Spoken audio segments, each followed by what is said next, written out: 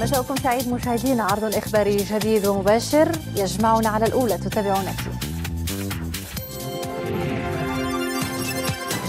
مجلس الحكومة يتدارس ويصادق على جملة من النصوص القانونية والتنظيمية ويستعرض جملة من المستجدات.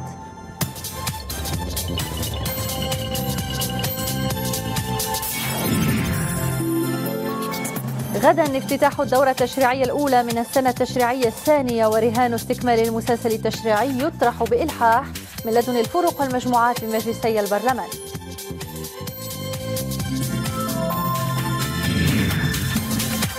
المعرض المهني الوطني للحبوب والقطن ببرشيد. أكثر من 200 رواق وخمسة أقطاب فلاحية تحمل شعار الحبوب والقطن أساس الأمن الغذائي.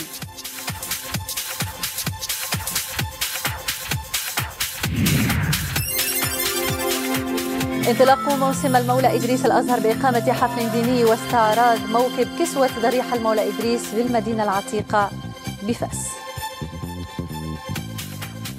أهلا بكم. تعلن وزارة القصور الملكية والتشريفات والأوسمة أن صاحب الجلالة الملك محمد السادس نصره الله وأيده سيترأس افتتاح الدورة الأولى من السنة التشريعية الثانية من الولايات التشريعية العاشرة بمقر البرلمان وذلك يوم غد الجمعة 22 محرم 1439 هجرية الموافق للثالث عشر أكتوبر 2017 وبهذه المناسبة سيلقي جلالة الملك أعزه الله خطابا ساميا أمام أعضاء مجلسي البرلمان مجلس النواب ومجلس المستشارين وسيبث مباشرة على أمواج الإذاعة وشاشة التلفزة ابتداء من الساعة الخامسة من زوال يوم غد. وفي بلاغ لمجلسي النواب والمستشارين ينهي رئيسا مجلس النواب والمستشارين إلى علم كافة السيدات والسادة النواب والمستشارين أن الحضور إلى مقر البرلمان سيكون على الساعة الثالثة والنصف بعد الزوال مرتدين اللباس الوطني وذلك طبقا لمقتضيات النظامين الداخليين لمجلس البرلمان. بعث صاحب الجلالة الملك محمد السادس نصره الله برقية تهنئة إلى صاحب الجلالة الملك فيليبي السادس عاهل المملكة الإسبانية وصاحبة الجلالة الملكة ليتيسيا وذلك بمناسبة احتفال بلادهما بعيدها الوطني. وأعرب جلالة الملك في هذه البرقية عن تهانئه الحارة ومتمنياته الصادقة للملك فيليبي والملكة ليتيسيا ولأسرتهما الملكية الجليلة بموفور الصحة والسعادة والهناء. وللشعب الإسباني الصديق بمزيد من التقدم والرخاء. ومما جاء في برقية جلالة الملك ولا يفوتني بهذه المناسبة أن أعرب لكم عن مدى اعتزازي بوشائج الصداقة المتينة والتقدير المتبادل التي تربط أسرتين الملكيتين وبما يجمع شعبين الجارين من علاقات تاريخية قائمة على التعاون المثمر والتضامن الفاعل والتفاهم الودي. وأكد جلالة الملك حرصه القوي على مواصلة العمل سويا معكم من أجل تعزيز هذه العلاقات المتميزة والارتقاء بها إلى مستوى طموحات شعبين الصديقين بما يخدم مصالحهما المشتركة ويسهم في دعم الجهود الدولية لمحاربة التطرف والإرهاب وتوطيد الأمن والاستقرار. وبمناسبة احتفال المملكة الإسبانية بعيدها الوطني بعث صاحب الجلالة الملك محمد السادس نصره الله برقية تهنئة لرئيس الحكومة الإسبانية السيد ماريانو رخوي كما بعث صاحب الجلالة الملك محمد السادس نصره الله برقية تهنئة إلى رئيس جمهورية غينيا الاستوائية السيد تودور أوبيانغ نجيما باسوغو بمناسبة العيد الوطني لبلاده. ككل يوم خميس انعقد اليوم مجلس للحكومة برئاسة رئيس الحكومة سعد الدين العثماني. المجلس تدارس وصدق على أربعة نصوص مشاريع مراسيم كما صدق على مقترح تعيينات في مناصب عليا وتطرق لجملة من المستجدات. عبد الهادي الجحفي العربي النهيري وياسر الدومي في بداية الاجتماع الأسبوعي لمجلس الحكومة توقف رئيس الحكومة عند المستجدات التي عرفها الأسبوع الماضي والذي تميز بالزيارة الناجحة لجهة درعا في زيارة تأتي في سلسلة الزيارات التي تقوم بها الحكومة من أجل الإنصات والتواصل مع المنتخبين وممثلي المجتمع المدني وإعطاء دفعة للمشاريع التنموية الجهوية. كما توقف رئيس الحكومة عند الزيارة التي قام بها الوزير الأول الروسي إلى بلادنا والتي توجت بالتوقيع على عدد من الاتفاقيات التي شملت القطاعات الاقتصادية والتجارية بين البلدين. أكد السيد رئيس الحكومة على أن هذا الأمر يعكس توجها ملكيا. تمثل في الزيارة الملكية إلى روسيا في ماي 2016 والتي أثمرت توقيع 16 اتفاقية وأن هذا يعكس إرادة وسعيا نحو التوازن في العلاقات الدولية للمملكة وتنويع الشركاء. رئيس الحكومة توقف أيضا عند حدث نقل النيابة العامة من وزارة العدل إلى رئيس النيابة العامة وهو حدث هام عكس استقلالية السلطة القضائية تنفيذا للتعليمة الملكية السامية. عقب ذلك صدق مجلس الحكومة على أربعة مراسيم أهمها المرسوم الذي يحدد البطاقة المهنية للفنان. كما صدق المجلس على مشروع مرسوم يغير مقدار رسم الاستيراد المفروض على القمح اللين ومشتقاته سيقع التقليص ديال الرسم من 135 ل 30% وهذا سيمكن من تحديد الثمن المرجعي عند الخروج من الميناء في حدود 250 260 درهم للقنطار عقب ذلك قدم الوزير المكلف بالعلاقة مع البرلمان بعض المعطيات التي تهم الدخول البرلماني المقبل. كان هنالك عرض حول الإعداد المبكر للجلسات المذكورة المتعلقة بكل من جلسة الأسئلة الشفوية التي ستنطلق يوم الاثنين الساعة الثالثة والنصف وجلسة مجلس المستشارين يوم الثلاثاء الساعة الثانية والنصف. وتم التوقف أثناء المجلس الذي عرف نقاشا مستفيضا. من أجل أولا رفع وتيرة التفاعل مع التعهدات الحكومية التي تقدم في البرلمان. وفي ختام أشغاله صادق مجلس الحكومة على مقترحات تعيينات في مناصب عليا طبقا لأحكام دستور المملكة. افتتحت اليوم بالرباط السنة الثقافية الجديدة. حدث هام يؤسس المشهد الثقافي والفني ويضمن إشعاعه في كل المدن المغربية. حفل الافتتاح حضره رئيس الحكومة السيد سعد الدين العثماني وشخصيات سياسية وأخرى من عالم الفن والإبداع. روبورتاج زينب أمرموش ومحمد ناصري بين ثنايا كتاب وتفاصيل لوحة تشكيلية أو أسرار بيت شعري. نقف مذهولين أمام التجربة الإنسانية. تجربة فريدة. ستزيد إشعاعا مع افتتاح السنة الثقافية الجديدة.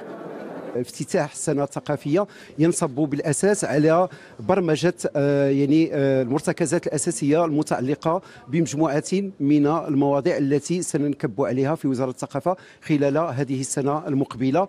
وكذلك سنعمل كذلك على إحداث مجموعة من البنيات. بهذا الموسم الثقافي سيتم استكمال جرد وتوثيق التراث الشفهي الحساني وكذا ترميم مآثر تاريخية بعدة مدن. بالنسبة للمواقع الأثرية هناك مشروع في ليكسوس اللي سيكون هناك ما يسمى في الفرنسية circuit touristique وكذلك مركز آخر للتعريف بتاريخ مدينة طنجة أي تاريخ المعاصر لمدينة طنجة والذي سيقام بما يسمى بفيلا بيرديكاريس. المهرجانات التراثية والثقافية ببلادنا يبلغ عددها 22 مهرجانا وتهدف أساسا إلى حماية الموروث الأصيل والرقي بمختلف الفنون.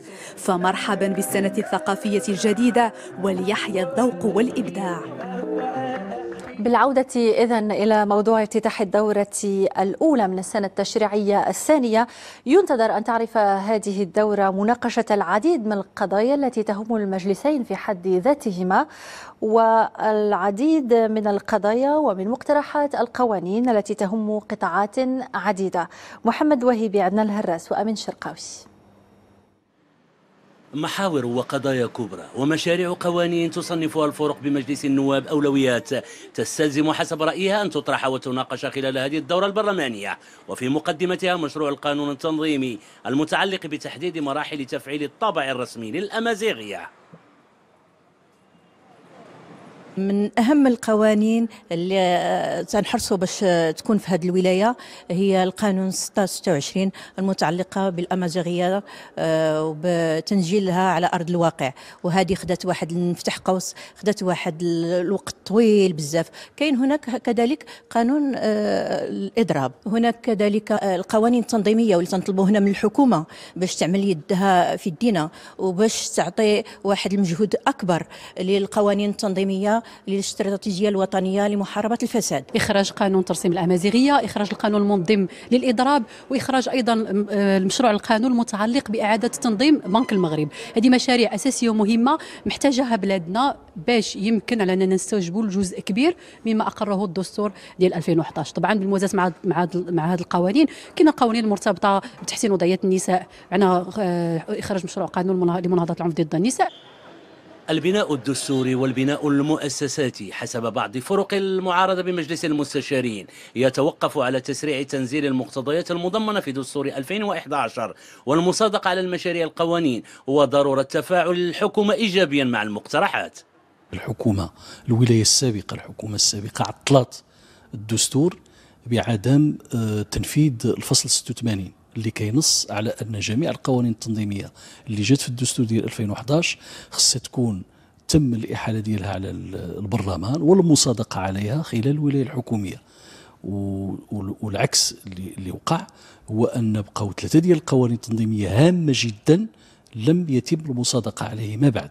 قانون الإضراب قانون اللغة الأمازيغية والثقافة الأمازيغية والقانون ديال المجلس الوطني للغات حنا في الاتحاد المغربي للشغل الهدف ديال التواجد ديالنا هو أننا في المجلس بصفة عامة هو أننا آه، نضفيو البعد الاجتماعي على مشاريع القوانين. في مجلس المستشارين. إحنا طبعا مرهون إلا بغينا نقولوا بعض المشاريع المهيكلة منها مشروع القانون المتعلق بالدفع بعدم دستورية القوانين اللي هو قانون تنظيمي اللي جانا من مجلس النواب. كذلك كاين قوانين التي تهم تنزيل أو تفعيل مبدأ المساواة اللي جا به الدستور. على المستوى التشريعي وصل عدد مشاريع القوانين قيد الدرس إلى 18 مشروعا و36 مشروع مقترح قانون. سيعمل مجلس المستشارين على برمجتها. أما بالنسبة لمجلس النواب فإن مجموع المشاريع القوانين قيد الدرس تفوق العشرين مشروع قانون وحوالي 40 مشروع مقترح قانون. وهذه المشاريع موجودة باللجان الدائمة. بالرباط انطلقت اليوم فعاليات الندوة القانونية حول موضوع تحصيل الغرامات والصوائر والرسوم القضائية وذلك في إطار تنزيل ورش إصلاح العدالة ببلادنا. الندوة تكرس مبدأ الحكامة وربط المسؤولية بالمحاسبة. وفاء بندور وعبد الإله مزاحم. في إطار تفعيل السياسة الحكومية الهادفة إلى محاربة هدر المال العام وتنفيذ المقررات القضائية الكفيلة بالحفاظ على الأمن القضائي وهيبة الدولة انخرطت وزارة العدل في عدد من الأورش الإصلاحية لضمان نجاعة وفعالية تدبير ورش التبليغ وتحصيل الغرامات والصوائر والرسوم القضائية المداخيل التي ارتفعت برسم سنة 2016 لتفوق المليار و54 مليون درهم. للحفاظ على مصداقية الأحكام وهيبة الدولة لا بد أن تجد المقررات القضائية التنفيذ الذي تستحق خاصة في جانب الغرامات. ونحن سعداء اليوم أن نعاين أن مجهودات الوزارة أدت إلى ارتفاع التحصيل بنسب تتجاوز 130% الرهان ديالنا للرفع من هذه المداخل لأن كنعتبروها هي الصمام الأمان ديالنا في إطار الرفع من البنية التحتية لوزارة العدل. حنا كنشوفوا بأنه عندنا في المقاربة ديالنا التشاركيه مع جميع المؤسسات عندنا واحد النهج كنقولوا بأننا القضاء على المخلف بأكثر من 25% كل سنة. في ظرف خمس سنوات تطورت المبالغ المنفذة بنسبة 133% والرهان على خفض المتأخرات في التحصيل بنسبة 25% سنويا وذلك عبر تأهيل الموارد البشرية ولا سيما مكاتب الضبط عبر محاكم المملكة. كل ذلك في إطار مقاربة إصلاحية جديدة تروم الرفع من نجاعة الأداء وربط المسؤولية بالمحاسبة. أخلاقيات وسلامة خدمات نقل الدم شعار المؤتمر العربي الحادي عشر لخدمات الدم المنعقد بمراكش بحضور عدد من الفعاليات المنتمية للمجال الصحي. تظاهرة يرتقب أن تتمخض عنها توصيات حول المبادئ الأخلاقية والقانونية التي يجب اتباعها في نقل هذه المادة الحيوية.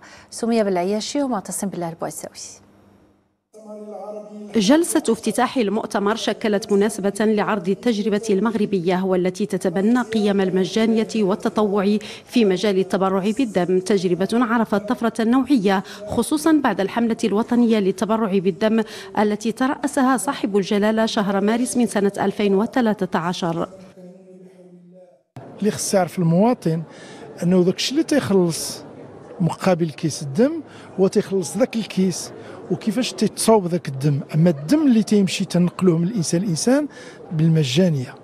ولهذا كاين هذا المؤتمر هذا اللي تيتناول أخلاقيات يعني نقل الدم باش نحافظوا على هذا الشيء. كزرع الأعضاء نفس التمام وكاين قانون في المغرب الحمد لله اللي تيحمي هذا الشيء. فقرات البرنامج العلمي للمؤتمر تتضمن كذلك مناقشة مواضيع منها التكوين المستمر وتطوير الكفاءات من أجل ضمان السلامة الصحية في استعمال الدم ومشتقاته. مواضيع تلامس مجمل اهتمامات المشتغلين في مجال نقل الدم. نحن ننظم هذا المؤتمر الذي يضم أكثر من 350 مشارك من كل الدول العربية وكذلك الأوروبية. آه، وهذا المؤتمر تظاهرة علمية يعني تعطي أهمية لكل ما هو آه، ما يتعلق بتحقن الدم وتقنيات تحقن الدم وجميع الميادين المتعلقة به. التوصيات الهامة التي ستتوج أشغال المؤتمر ستساهم في دعم المجهودات الرامية للنهوض بمنظومة تحقن الدم من خلال الارتقاء بخدمات نقل الدم التي ترتبط بشكل مباشر أو غير مباشر بخدمات صحية أخرى. للتعرف على التجربة المغربية في حماية المرأة والطفل من العنف يقوم وفد من القضاة الفلسطينيين والإداريين بزيارة لبلادنا التقوا خلالها بعدد من المسؤولين الحكوميين. هذا اليوم التقى الوفد بوزيرة الأسرة والتضامن والمساواة والتنمية الاجتماعية بسيمة الحقاوي. مجيد حلاوي وسعيد إجاسي قطعت بلادنا أشواطا مهمة حين أصدرت قوانين متطورة تحمي الأسرة المغربية وخاصة المرأة والطفل من العنف.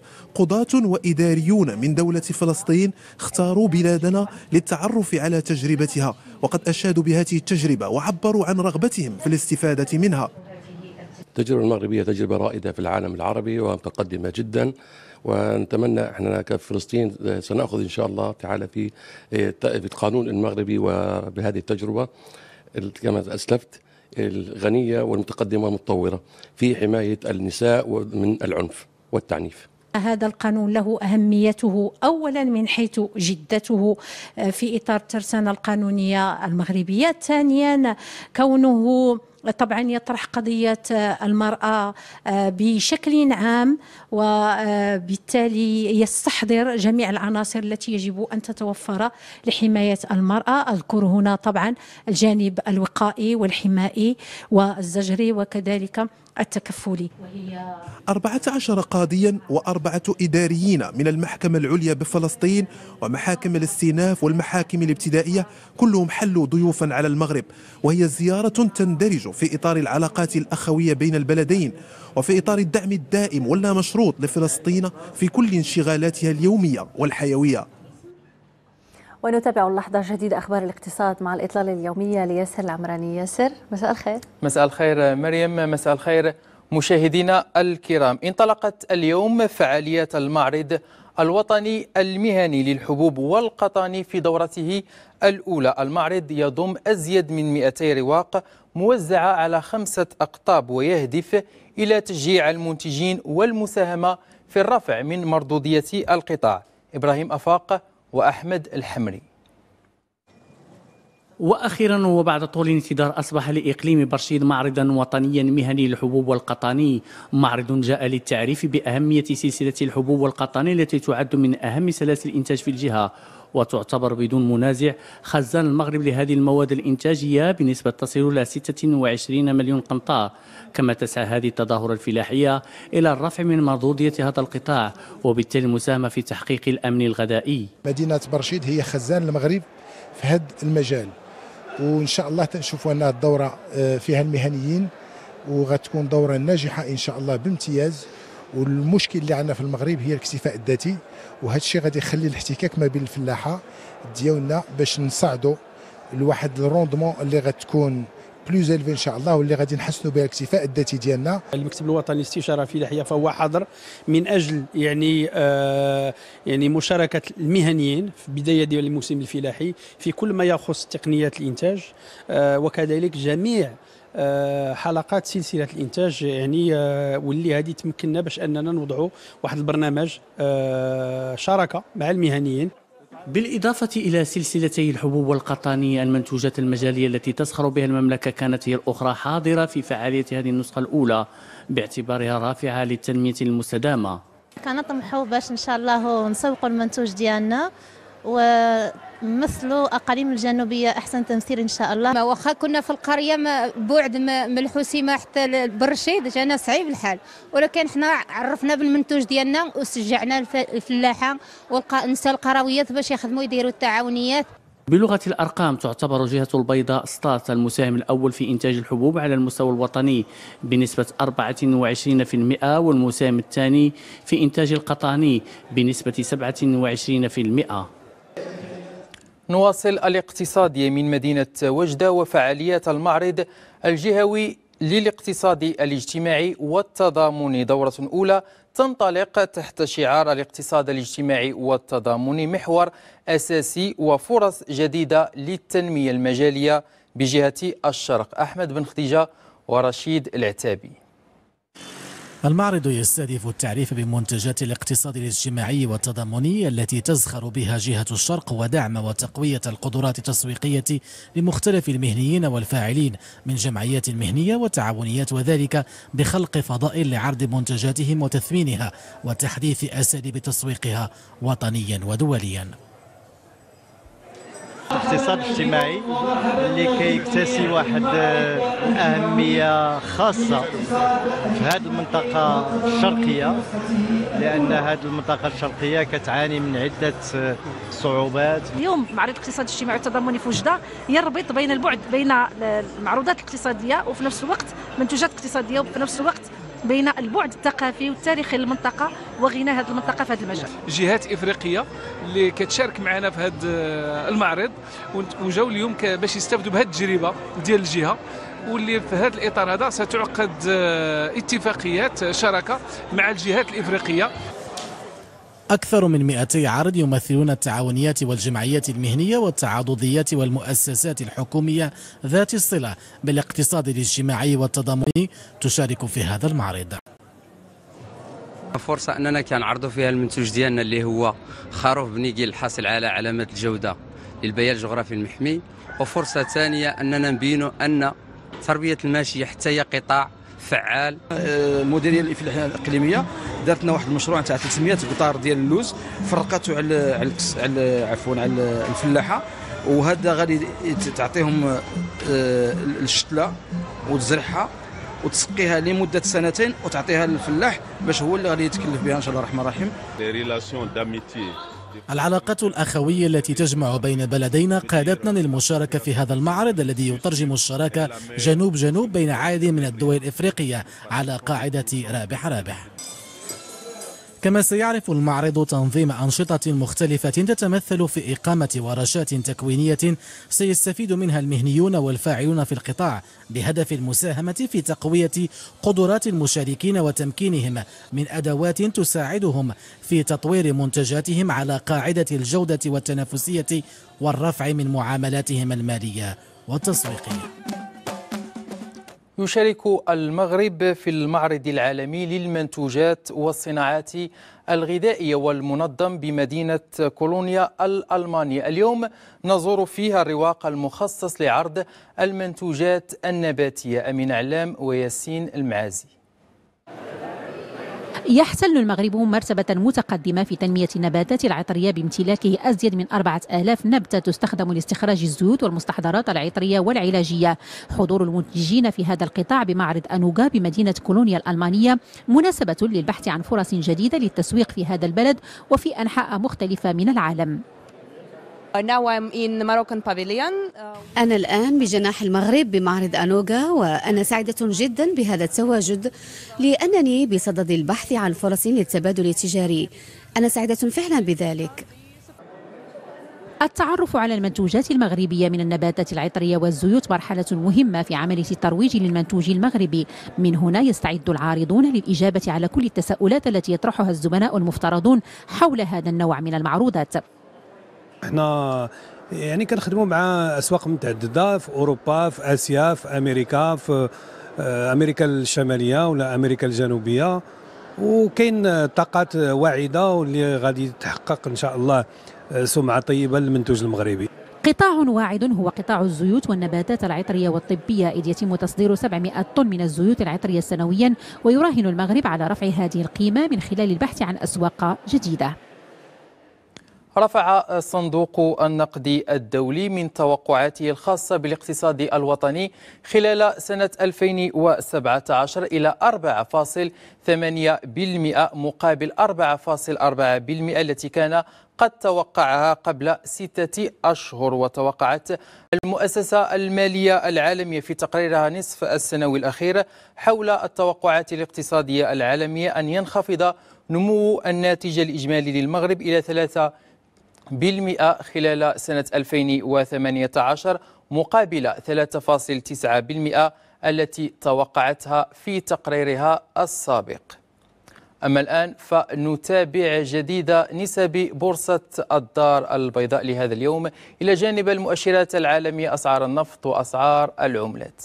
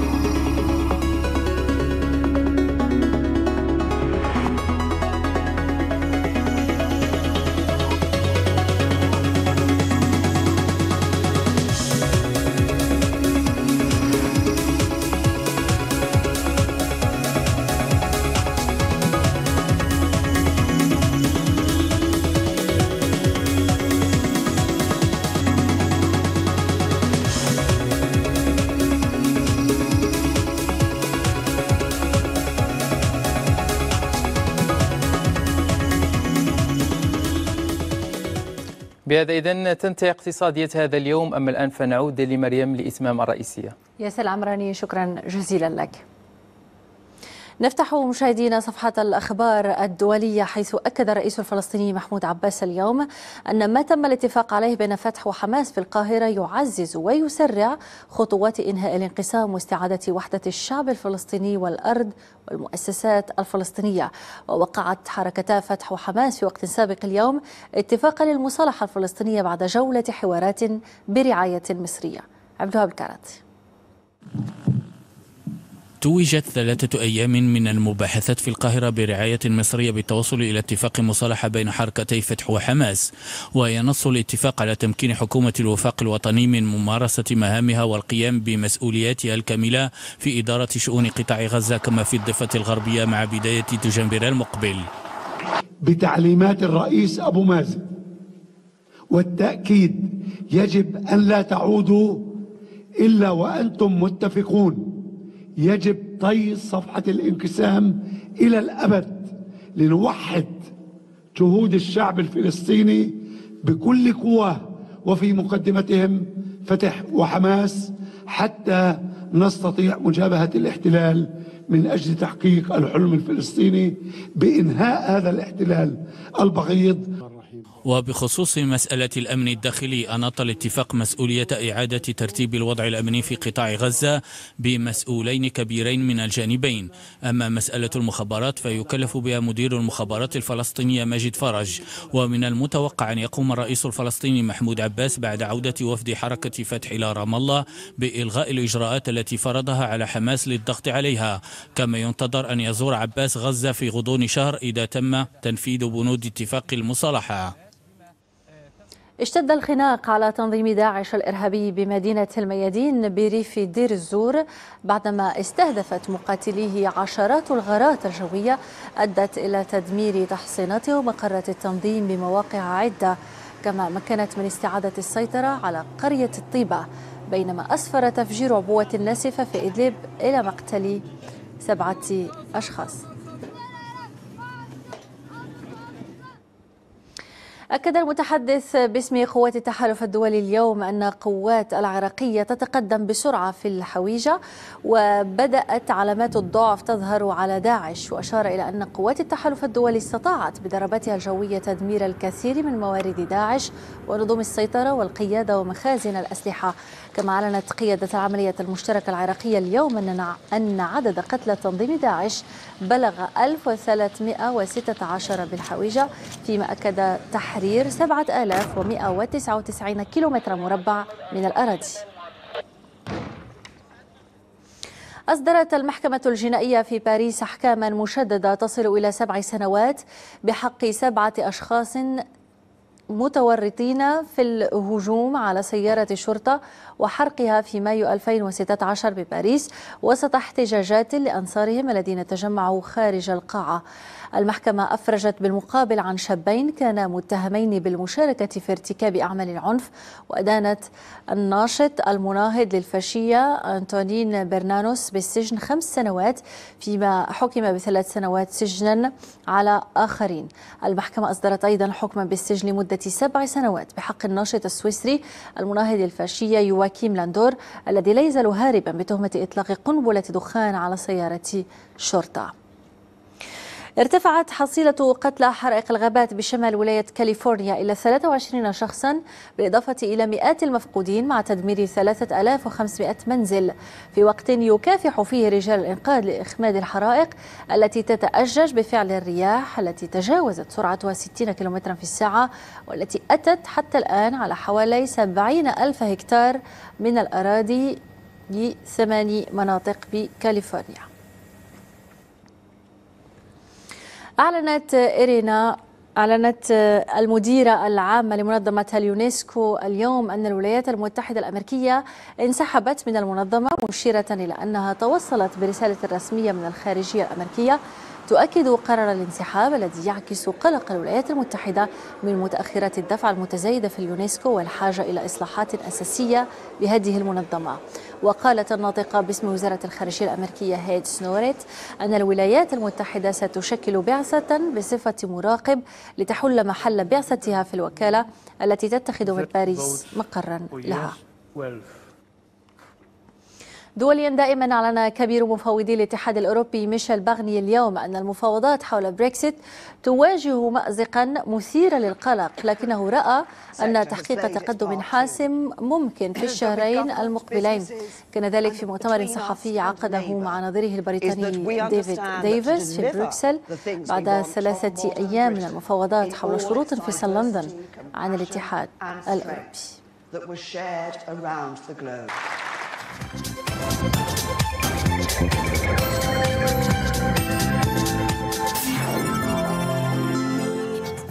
بعيدا عن أخبار العالم وبمدينة فاس أحيا الشرفاء الأدارس الموسم الديني السنوي للمولى إدريس الأزهر. مناسبة تميزت بإقامة حفل ديني بضريح المولى إدريس وتنظيم الموكب السنوي لكسوة الضريح التفاصيل مع سعيد معوج ومصطفى الزاهري. بمقام المولى إدريس بفاس العتيقة أذكار وأوردة صوفية. هي إعلان عن انطلاق موسم الولي الصالح. فهبة ملكية شريفة تفضل بها أمير المؤمنين. جلالة الملك محمد السادس نصره الله إلى الشرفاء الأدارسة. مناسبة عظيمة كريمة لأن فيها إحياء ذكرى. المولاي إدريس الأزهر مؤسس الإسلام بهذه الديار. والذي يعمل على وجود هذه الديكة وبقائها حية. هو سيدنا نصره الله لأنه يتبعها دائما ويشرف على هذه الأعمال.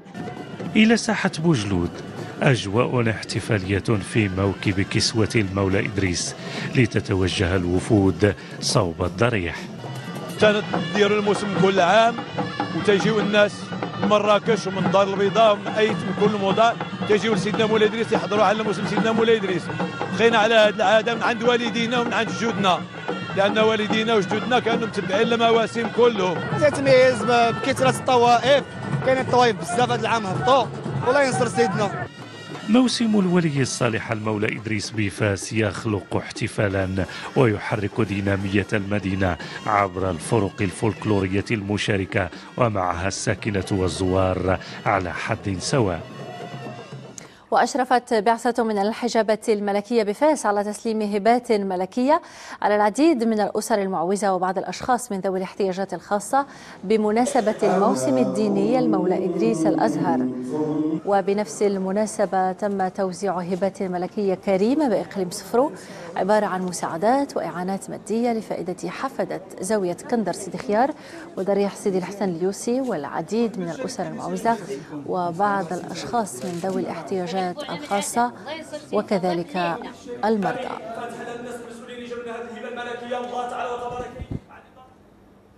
بإقليم النواصر نظم مجلس جهة الدار البيضاء سطات لقاء تواصليا مع مختلف الفاعلين المحليين والاقتصاديين لدراسة حاجية التنمية بالمنطقة وفي مقدمة التحديات المطروحة التنمية المجالية والنهوض بقطاع الاستثمار وخلق فرص الشغل. أمين هناوي. اللقاء التواصلي هو جولة جديدة تجمع الفاعلين الاقتصاديين والاجتماعيين والمجتمع المدني بالفاعلين في الإقليم للوقوف على الدينامية التي تعرفها منطقة نواصر في مختلف المجالات البنية التحتية والقطاعات الاجتماعية والاقتصادية وأيضا المشاريع الجديدة الأفقية لما لها من دور في التنمية. الهدف من هذا اللقاء بطبيعة الحال هو كذلك الكل يستمع للآخر. باش المشاكل ما تبقاش فقط نظرية في في الأوراق وتكون كذلك منقولة بالمعنيين بالأمر. وفي بعض الأحيان يمكن تلقى حلول انطلاقا من اليوم. وهذا كنظن كذلك منهجيه ديال العمل فإقليم النواصر يتميز بدينامية مهمة لما يزخر به من مؤهلات اقتصادية ومناطق صناعية وإنتاجية فضلا عن ضغط ديموغرافي وإشكالات تتطلب تنسيقا مع الفاعلين للتغلب عليها. فمنطقتنا جد شاسعة وخاصها تأهيل من ناحية الطرق والإنارة والواد الحار وعدة مشاريع وحنا جينا هذا النهار باش ندافعوا هذا المشروع باش نحاول باش هذه المنطقة تتجهز وتكون جاهزة في أقرب وقت ممكن. حنا جينا كفعاليين ديال المجتمع المدني باش تنطرحوا المشاكل ديالنا اللي خاصة بالمدينة خصوصا حنايا اللي خاصة بالمدينة الخضراء. راه كاين الغازات الأكسيد الكربون. راه التسمم راه كل صباح كنخرجوا كنلقاو واحد الدخان كحل. بغيناهم بغيت هذا هو السؤال اللي طرحت لهم كنتسنى الإجابة. فوقاش غتسد هذا المطرح النفايات؟ وقد خلص اللقاء التواصلي إلى مواصلة الحوار والنقاش وصولا إلى سن مقاربات استباقية لسن سياسة عمومية وإحداث آليات الحكامة وصولا إلى جعل المواطن في صلب السياسة التنموية الاجتماعية والاقتصادية وخلق الثروة وفرص الشغل واستتباب الأمن والسلم الاجتماعي. توفي اليوم بمدينة تطوان الشاعر المغربي محمد الميموني عن 82 عاما بعد معاناة طويلة مع المرض. وبدأ الراحل وهو من مواليد سنة 36 900 وألف مدينة شفشاون تجربته الشعرية عام 58 900 وألف وبدأ كتابته في الصحف الوطنية عام 63 حيث نشر أولى قصائده في جريدة العلم. ويعد الميموني رمزا من رموز الثقافة الوطنية وعلما من أعلام النضال السياسي والوطني في المغرب. إن لله وإنا إليه راجعون. رياضيا نجح فريق نهضة بركان في التأهل إلى دور الربع النهائي لمنافسات كأس العرش بعد فوزه على فريق الوداد الرياضي بهدفين مقابل هدف واحد في مباراة إياب دور الستة عشر. تفاصيل هذه المواجهة في ورقات ابتسام أدريس. بهدف قاتل يطيح نهضة بركان بالوداد الرياضي ويتأهل إلى ربع نهائي كأس العرش في إياب دورة 16 بعد الفوز بهدفين مقابل هدف واحد. دون نسيان أن مباراة الذهاب انتهت متعادلة هدف لمثله. هو لقاء منح فيه مدرب الوداد الرياضي الحسين عموتة الفرصة لعدد من اللاعبين بعد إكراهات الغيابات والإصابات التي طالت النادي الأحمر. المباراة بدأت بضغط من كلا الجانبين خوفا من تلقي هدف مبكر قد يربك حسابات الطرفين. الإيفواري داهو وضع كرة على طبق من ذهب للاعب محمد أولاد الذي أخطأ مرمى الحارس عبد العالي المحمدي. الرد على هذه المحاولة جاء من رجل الطوغولي لابا لكن اللاعب عبد اللطيف نصير كان في المكان المناسب. أخطر محاولات الوداد سيضيعها اللاعب محمد أولاد أمام عبد العالي المحمدي. خلال الدقيقة الثانية والثلاثين يتصيد اللاعب محمد أولاد لضربة جزاء بعد عرقلته من طرف اللاعب العربي الناجي داخل منطقة الجزاء. محمد أولاد في الواجهة وينجح في تسجيل أول هدف بقميص الوداد. خلال الدقيقة التاسعة والثلاثين نهضة بركان بدوره يحصل على ضربة جزاء بعد عرقلة اللاعب بكر الهلالي من طرف اللاعب محمد وترى. اللاعب لابا في التنفيذ وهدف التعادل. انتهى به الشوط الأول بهدف لكل فريق.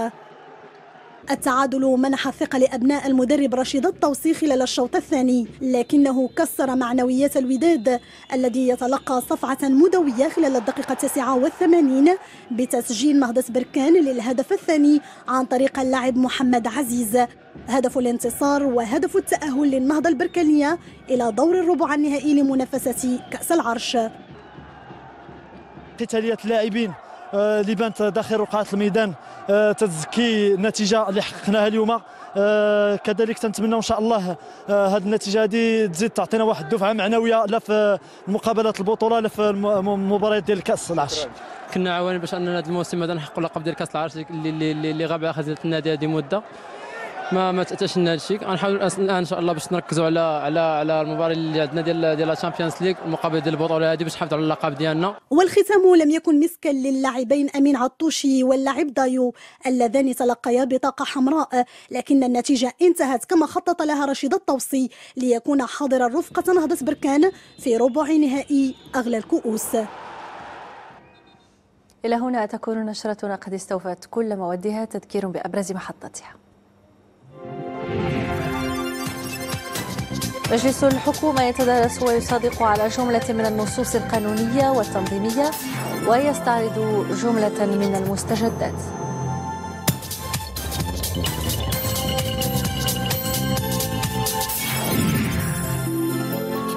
غدا افتتاح الدورة التشريعية الأولى من السنة التشريعية الثانية ورهان استكمال المسلسل التشريعي يطرح بإلحاح من لدن الفرق والمجموعات بمجلسي البرلمان.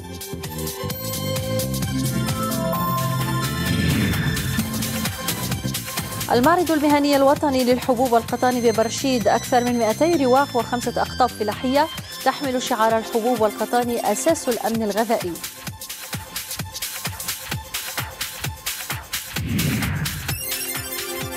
انطلاق موسم المولى إدريس الأزهر بإقامة حفل ديني واستعراض موكب كسوة ضريح المولى إدريس بالمدينة العتيقة. بفاس رقم النشر يشكر بقاءكم معنا مشاهدينا. إلى الغد بإذن الله.